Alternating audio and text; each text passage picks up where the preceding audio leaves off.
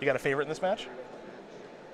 Uh, this can be kind of interesting. This is the newer Scapeshift list, list that we've seen. Mm-hmm. It's more of a turbo all-in. It has a little more mana ramp, and then it's playing Hour of Promise, which can go and search up the Valakuts, which is huge. We saw Collins Mullen with this list last weekend in Syracuse.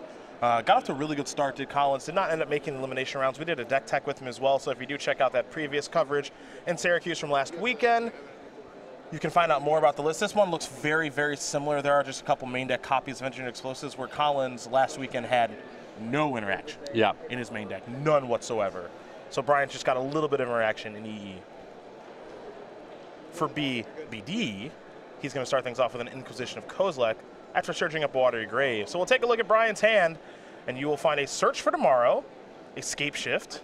You've got a Sakura Tribe Elder, a Mountain, another copy of Cinderglade there as well. The problem was is that his first land entered the battlefield tapped, so he was not able to suspend Search on turn one.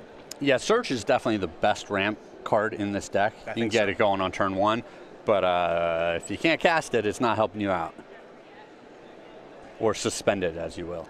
Brian's going to be able to take a non-Scapeshift card here. Now, one of the things that's nice about this take on Scapeshift is that things are just very redundant with Scapeshift. You know, the deck has a million ramp spells. It's got Primeval Titans, way to find Primeval Titans there in Summoner's Pact, and it's just going to try to do the same thing every game and do it as fast as possible. Yeah, like you said, almost no interaction in the main deck.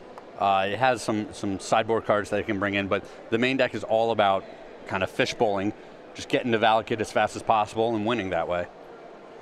So Brian taking a long look. He obviously knows what he's up against now.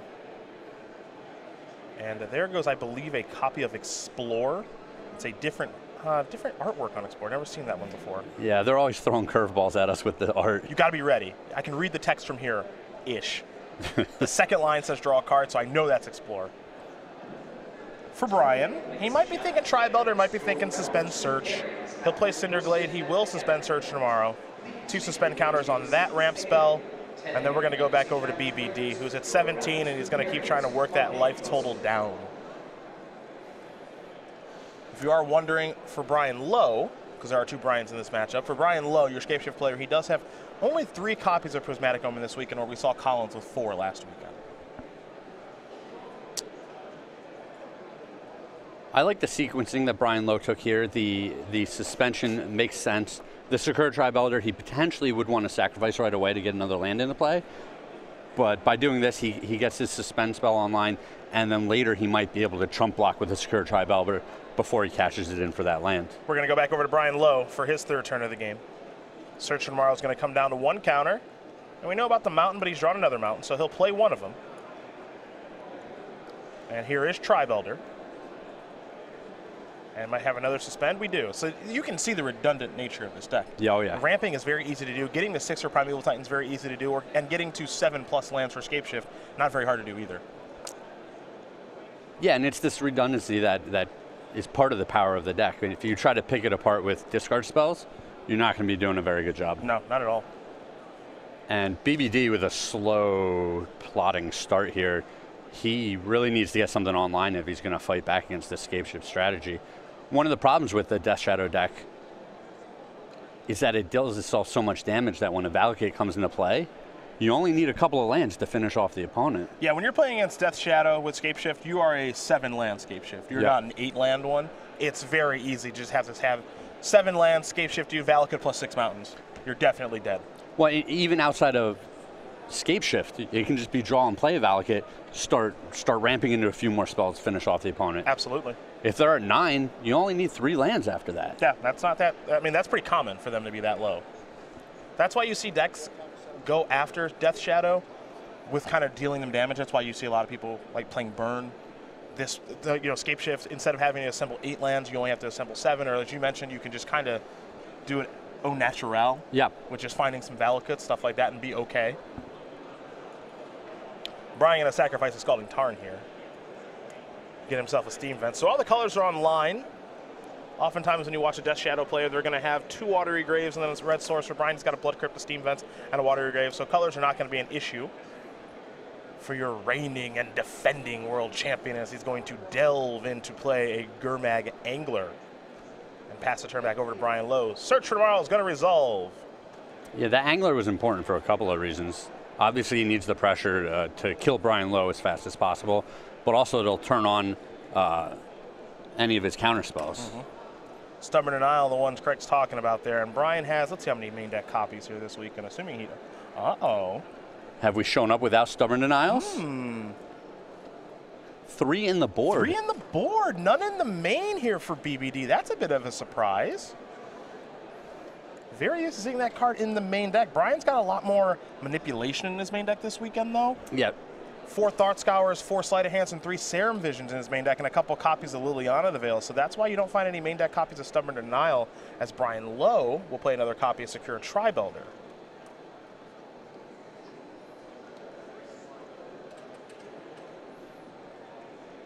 and he'll simply pass the turn back. We're going to go over to BBD, who will draw a card. Picked up a copy of Polluted Delta. Now, this will be a little bit fascinating because you do wonder if Brian Lowe is going to try to play around Stubborn Denial. Yeah, the, the card has become so ubiquitous in a lot of these Death Shadow decks that opponents will play around it even if it's not in your deck. Mm-hmm.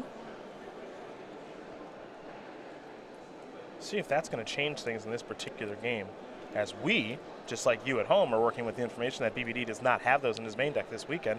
There's a fatal push.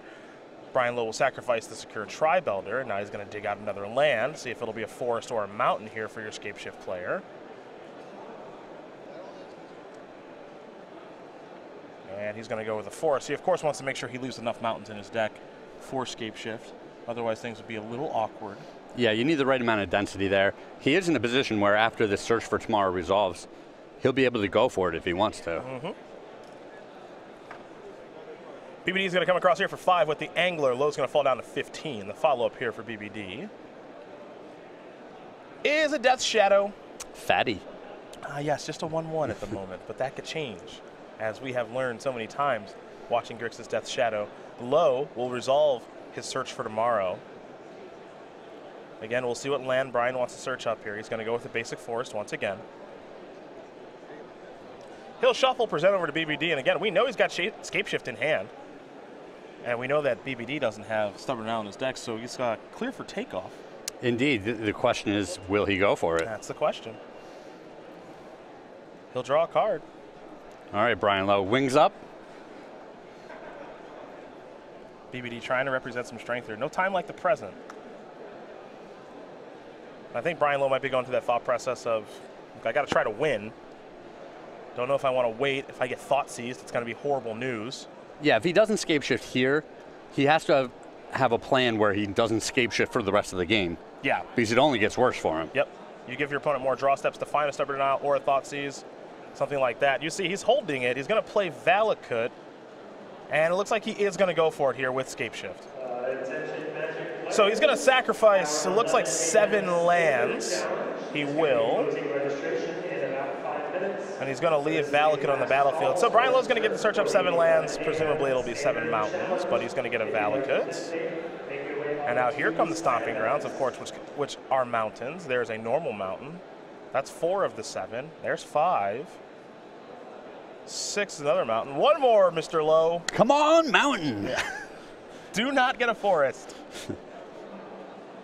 Cinderglade will work just fine because it is a mountain. We got some shots going up to BBD's head.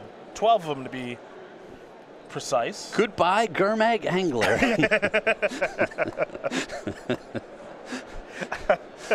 and that is going to do goodbye, Gurmag Angler. Yes, indeed. Brian Lowe is going to win game number one here over Brian Braun-Duin Scape shift very quickly up a game here over Grixis Death Shadow. And now, as you take a look at the main deck builds here between these two players, you know, it kind of makes some sense here that Brian Lowe would actually have a good game one matchup because he doesn't have to worry about Stubborn Denial at all. Well, yeah, like we said, he doesn't know that, but it certainly is much easier when you just don't have to worry about that card. Yeah. Uh, he, he came to the conclusion that he had to go for it then, which was the right conclusion.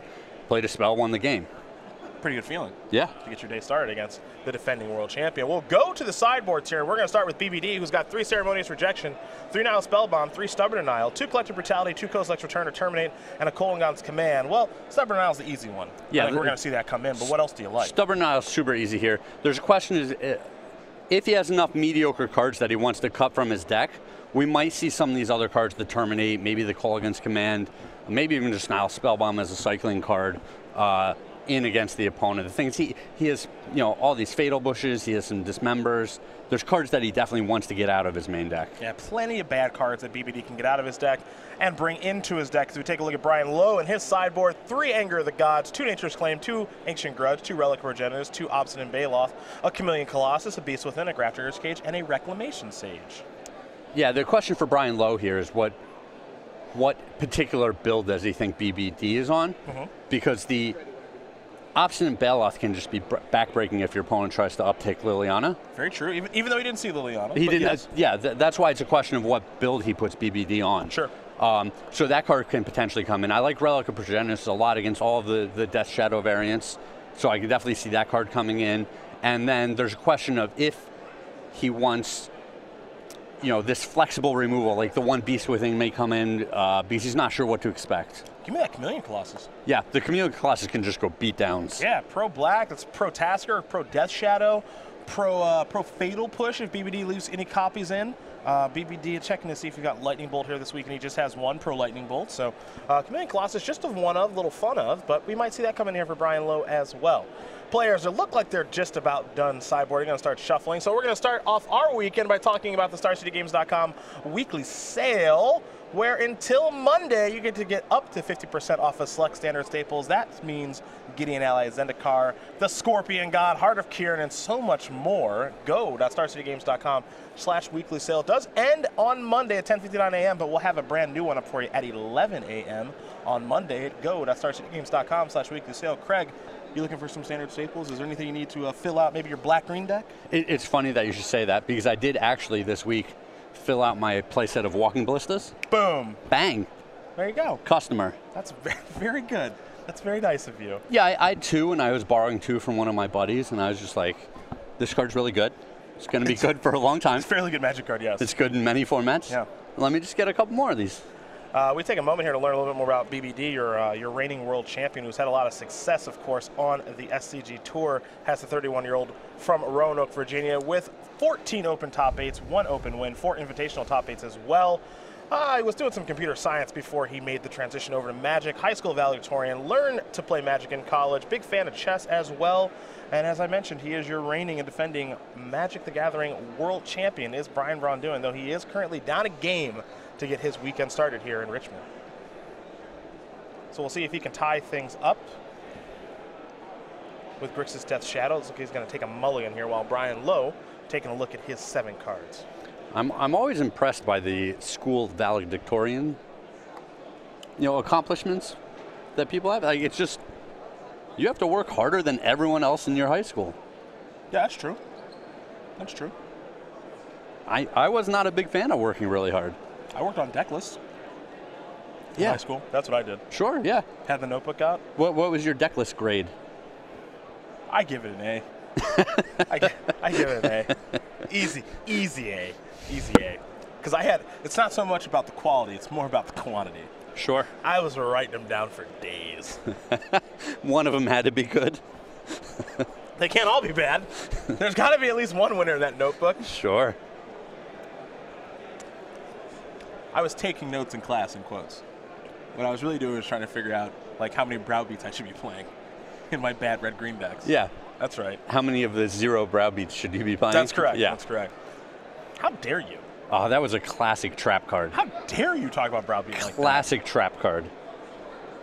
I remember when that bad boy came out. Everyone was excited. I was pumped. I was pumped. Looked so good, and then not that good. Kind of disappointing. Brian taking a look at six cards here. And it looks like he's happy, happy. Bloodstained Mire, where we're going to begin things. We'll go over to Brian Lowe.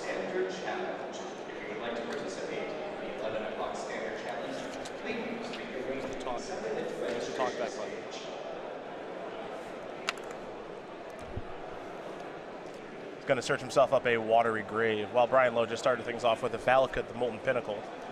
My assumption is that Brian Lowe probably has some green mana in his hand, but we'll find out soon enough. It's probably a pretty safe assumption. Uh, some people are reluctant to play Valakut onto the board pretty early.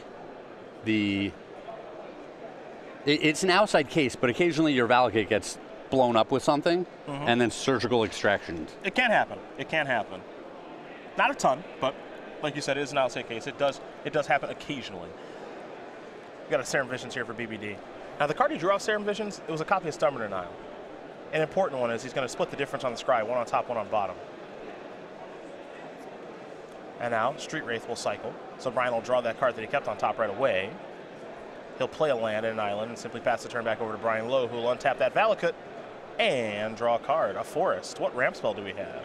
All right, it's a slower ramp spell here in Khalni Heart Expedition. Well, we, we, you call it slower, but really that thing could be online next turn. Well, unfortunately for Brian Lowe, it got countered by Stubborn Denial as BBD is going to keep moving forward here for his third turn of the game. Yeah, if Brian Lowe played a fetch land next turn, fetched up another land, and then had a ramp spell of any sort, you know, that, that expedition already has three counters on it. Well, you see the hand here for Brian Lowe. He's pushing that obstinate Baloth forward wants BBD to select that one with the thought Thoughtseize. Don't think that's going to happen, Mr. Lowe. But he will maybe select an Hour of Promise or a Primeval Titan. You see the rest of the hand here for low. It's pretty slow with a Windswept Heath and two copies of Stomping Ground. Yeah, definitely slow hand, but this hand has the redundancy that we were talking about, uh, where it's hard to just punch a hole in it with one discard spell.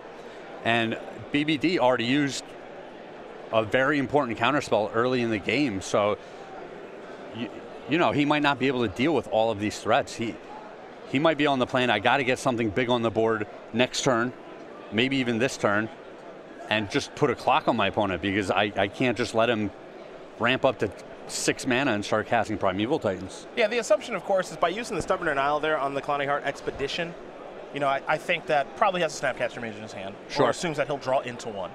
Uh, because he does play four copies of the card, and, you know, this deck does get through itself pretty quickly, be able to find cards. Yeah, you, you had mentioned he's playing four sleight of hands, four thought scours, three serum visions, and then the four street wraiths. So it, this deck has a lot of churn going on. Brian thinking long and hard about maybe taking Obstinate Baloth here with Thoughtseize. maybe that's maybe that's what he's in the tank about. Hopefully he doesn't misclick here. Yeah, that would be bad. That would be bad. The IRL misclicks. Yeah, never good. Never good. So it's between Titan and Hour. And he's giving this one, again, a lot of thought before he's going to select Primeval Titan finally. Brian, of course, taking two to do that. And now he'll just pass the turn back over to Brian Lowe. So Brian Lowe's third turn of the game, he's just going to play a Stomping Ground tapped. Didn't draw a two-mana ramp spell, so he'll pass the turn back over to BBD. BBD will draw a card. Knows that Obstinate Baloth will be coming soon. As he plays a Serum Vision, so he'll draw a card. Now he'll scry two. Sleight of hand, Death Shadow looks like what he's looking at here. Maybe an Inquisition of Kozilek. Either way, they're both going to the bottom. Now he'll cycle a Street Wraith. Maybe BBD on the hunt for land number three, though it doesn't appear as though he's found it. So he'll play a Death Shadow. He'll pass the turn back over to Brian Lowe. Lowe will draw a card. Picked up a copy of Summoner's Pact, it appears.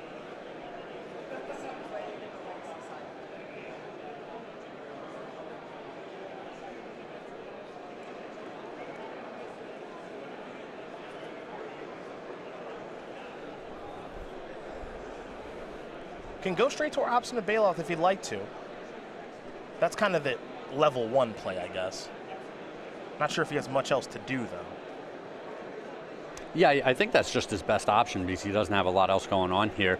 Um, they're obviously he's drawing the Summoner's Pact. He just has to go through the iterations.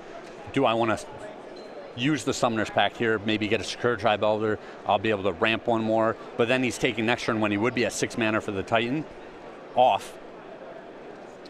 I Yeah. guess I guess the Titan got discarded anyway. Well, he may have drawn another one at this Sh- stage, sure. too. But he's just going to play Obstinate Baloth. Of course, the Stomping Ground's going to enter the battlefield untapped. He takes a little to gain a little, so he's up to 22 as we head back over to BBD, who I believe has at least one copy of Liliana of the Veil in hand, potentially two, but he's just missing that third mana. And if he could have hit that on time, obviously it would have had a huge change on this game. Yeah, BBD being all jammed up on mana is definitely a big deal here. Uh, like you said, it takes the Snapcaster Mage stubborn, stubborn denial play off of the table. Um, he's not able to just cast all the cards that he wants each turn. And this Death Shadow is not very intimidating right now. Well, it might get a little bit more tough because there's a Polluted Delta finally for Brian. Death Shadow right now at 2-2 can become a 5-5 very, very quickly with just the sacrificing of a land. Now again, Brian has to be a little bit worried of Hour of Promise as here comes Death Shadow. Just a 2-2 coming on in, all right. Brian Lowe says, I'm not blocking. I'm not, uh, not that foolish. Don't want to lose my Obstinate Baloth. Plus, I got a little bit of life to work with as BBD is going to sacrifice the Polluted Delta. Search of a Blood Crypt. Take three total damage, fall to eight, and as I mentioned, that Death Shadow now 5-5.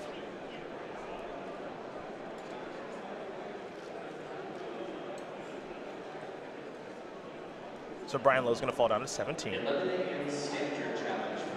The follow-up is Liliana the Veil. Brian's going to take down, take care of Obstinate Baloth, and pass the turn back over to Brian Lowe. And that's not a great turn for BBD. Uh, getting the Obstinate Baloth off the board isn't really a big deal. He, he's just tapped out, giving Brian the opportunity to play Hour of Promise, mm-hmm. just uncontested. Nothing to stop him. Yeah. Now, Brian Lowe's hand not great right now. Merely okay.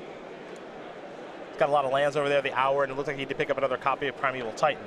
But he's also got that Summoner's Pact in hand. I think that's what's giving him some pause here of what do I want to do with this? Because he does have the ability, assuming that he did sideboard in Chameleon Colossus, to search it up with Summoner's Pact and play it. Sure. That would be a little bit tempting, the only problem I have with that line is next turn he has to pay for the pact, mm-hmm. which means he won't be able to just pump the Colossus and kill BBD. Yeah. I think I really like the Hour of Promise here. Uh, he already has a Valakut in play, so if he goes gets two mountains, the next turn he resolves a Primeval Titan. It, it might just be enough to kill BBD. Yeah, because he's got three mountains right now. He plays Hour, so he can go get maybe another Valakut plus a mountain, or you know, kind of whatever he wants to do here. Yeah. If he makes a land drop next turn and plays a Titan, nine damage. Yep. So here you see Hour of Promise. If you play Standard, you're familiar with it, and now, if you play Scapeshift Modern, you might be becoming more familiar with this ramp spell. You can search your library for up to two land cards, put them onto the battlefield tap, then shuffle your library. Then if you control three or more deserts, create two 2-2 black zombie creature tokens. Not a lot of deserts when you need mountains. Yeah.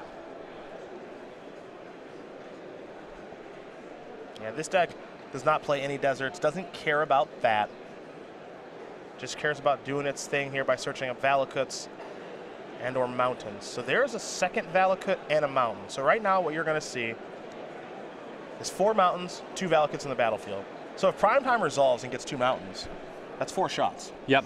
That's 12 damage. And I like the second Valakut here. It gives him a little insurance uh, against a potential Fulminator Mage. Okay, okay. It's actually pretty smart. Didn't think about that. We're going to go back over to Brian Braun-Duin now. It's the Brian Mir match.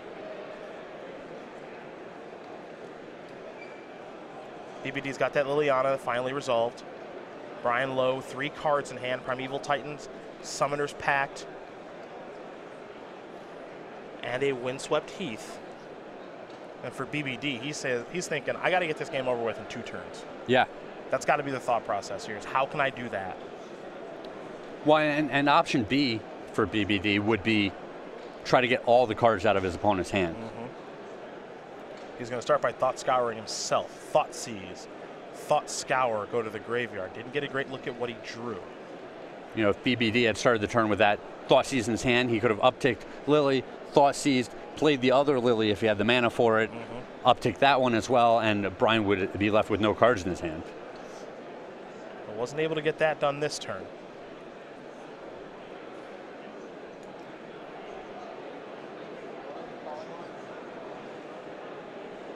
And right now, is Liliana's going to take up. The one thing that BBD doesn't know are, is any of the cards in Brian Lowe's hand. Players will discard Kolaghan's Command and Windswept Heath.